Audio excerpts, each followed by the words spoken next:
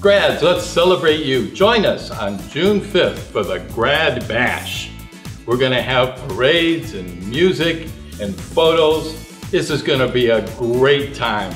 We're looking forward to seeing you. Let's celebrate.